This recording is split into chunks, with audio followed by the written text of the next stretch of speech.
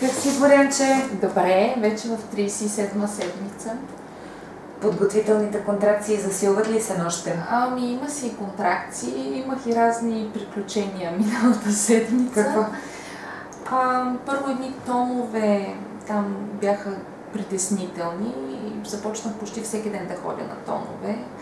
Някакво разкритие начално има, след това ми падна и слузестата запушалка и така вече съвсем сме в... Ама тоновете, записите носиш ли ги? Ами не, то се оказа след това следващите са добри. Имам някакви контракции, които не ги усещам все още. Понякога по една, тук-там усещам, нали? но Да.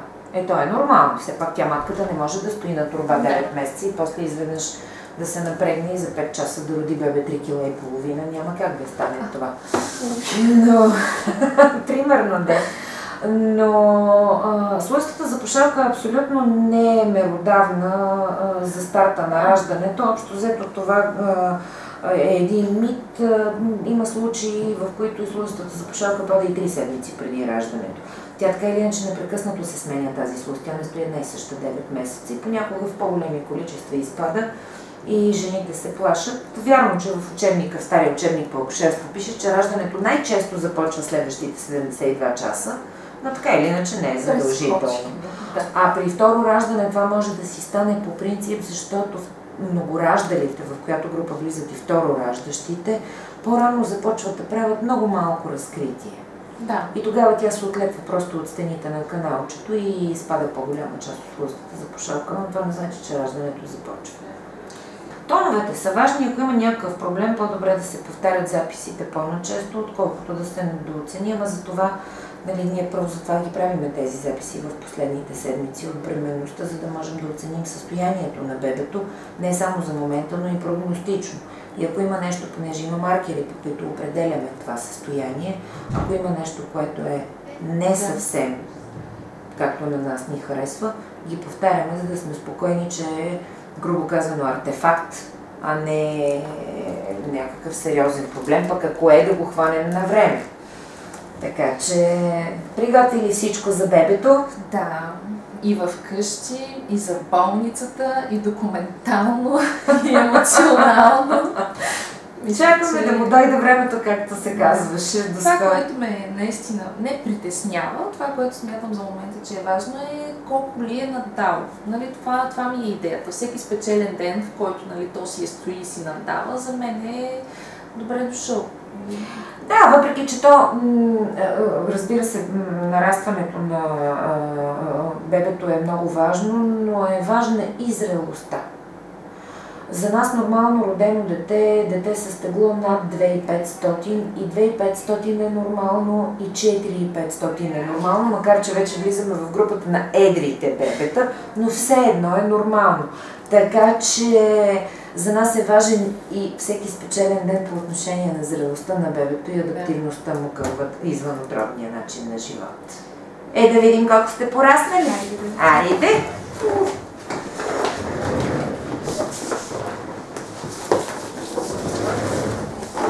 Показвам веднага.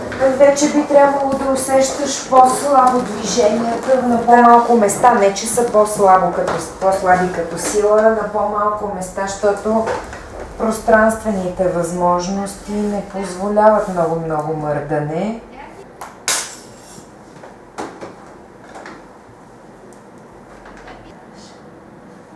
Добре, нисичко стои главицата вече.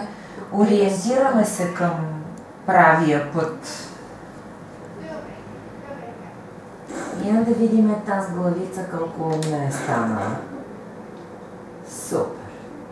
Колко беше родено първото детенце? 2700. Не, не, и това не е супер едро бебе и слава богу. Едрите бебета са... Трябва да излезе, Да, да, излезат тия 9 см. Това едрите бебета са за хълба в градинката, така че малките бебета се раждат по-лесно. И за тях самите, и за мама. Охо, дълго кратка работа това. Дълго крака. 2800 плюс минус 100. Е, Разбира се, това е една така... Не винаги плюс-минуса е точен. Ето ни сърчицето.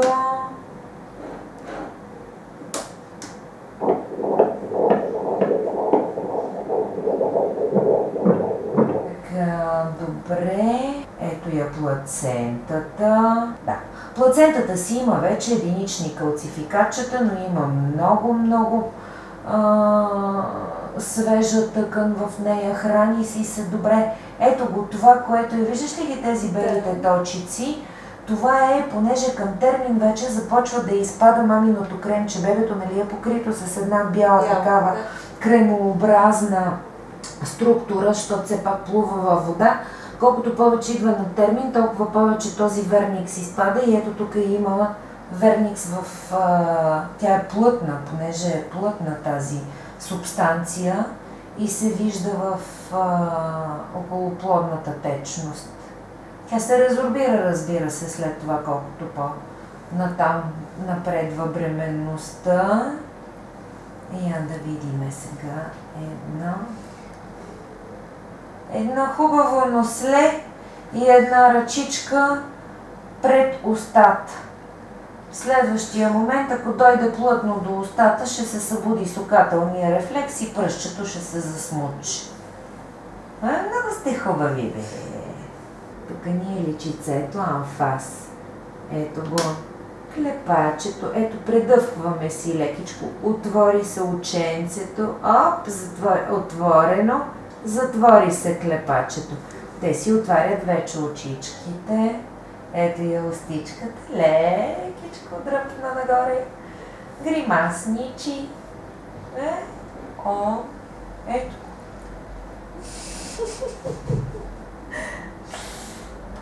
Ага. Хайде излизаме, Чеше се се запознаваме. И така сме казали, извинете, моля ви се, не искаме да ни снимате сега. То може да няма много място, къде да си Има, има, има достатъчно място. Околоплодната течност е в достатъчно количество, ето виж колко много има, така че е, те си, понеже си ги държат пред гърдичките и затова те си попадат, нали, в окото, в носа, където дойде. Не им пре.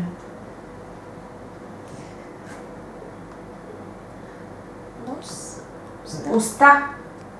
Уста и ми се струва, не може да се види на този апарат добре, но ми се струва, че все пак успяхте да си засмучите някоя част от ръката, защото движенията на устата са като присукателен рефлекс, така че като нищо сте захванали. Ето. А, и се оплези чак. Пола не си го е сменила. Време нещо да е прораснало. Ето снимката с юмрука в устата. Виж как е отворена устичката. Да. Ето, това е юмруче, ето е горната устничка, ето е долната устничка, брадичката, нослето. Носната костица, меката част на нослето. Сега, ето просто. И лекичко даже се опитваме да си изядем ръката. Нищо. Така се упражнява сукателния рефлекс. Добре, чудесно. Много хубаво сте пораснали. Няма никакъв проблем. Да преговорим кога отиваме към болницата. Контракциите. Е, Не, 5 през 5. Да. Ритмични. Да. Не средно през 5, а една след друга Да, през 5. То има и сега тук там по една.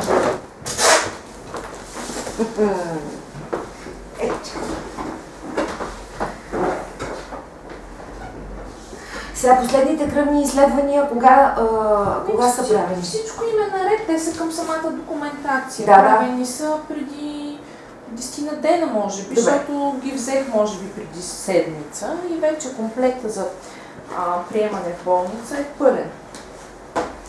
Хемоглобина е добре, всичко е наред. Да. Добре. Еми да се надяваме, че следващия път, като се чуеме, е да, е да се похвалиш. Добре, благодаря много. Говорихме ли си за ластичния колан? Не. Ти почитателка ли си на ластични колани след раждането? След. А, аз мислех, че в момента, че Е, не, нямаш с... нужда. Нямаш нужда. Не е чак толкова прелестегната. По принцип, за след раждането. По принцип, първия път използвах, да. Имах такъв а, широк колан. Мгм. И като се прибрах вкъщи, ама не веднага, може би след две седмици, нещо такова, като се почувствах, че не ме боли да го ползвам, го ползвах. Даже бих предложил, препоръчала по-стегнато бельо, но не колан. Или ако е колан, те понеже нали са с каишки, които се прибират и се регулират. Такъв ли ти е колан? Не, не. А, по принцип е, е, не е много подходящ ластичния колан, защото този корем расна 9 месеца. Той няма се прибере нито за 9 дена, нито за 9 седмици. Но като го притиснеш с колана и ако е много стегнат колана, предната коремна стена много хубаво се прибира и в огледалото изглежда страхотно. Само, че няма, кой да, няма какво да възстанови тонуса на мускулите. И ако дълго време се носи този колан и тонуса не се възстанови с свалянето на колана, пада престилката. Така че Ясно. плавничко и спокойно. Ясно. Да не говорим, че стяга и ето както казваш ти, ама не ми беше много комфортно в началото. По-добре по-стегнато бельо, но не колан. Колана, особено ако е с много силна компресия, Да. върши обратната работа, не е тази, за която си мислим, че ще свърши. Такива сует, суети чак не ме гонят, така че когато каквото. Това сега е хубава суета, дето се бях. Това после, после ще донесеш снимка, да видим, да сравним. Сравним открито си Да, бива ли го ултразвук в снимковия материал? Много благодаря. Приятел, успех пожелавам, леко раждане, бързо, хубаво всичко да мине, живи и здрави да сте и се обади да кажеш. Благодаря много. Всичко най-добро. Виждане.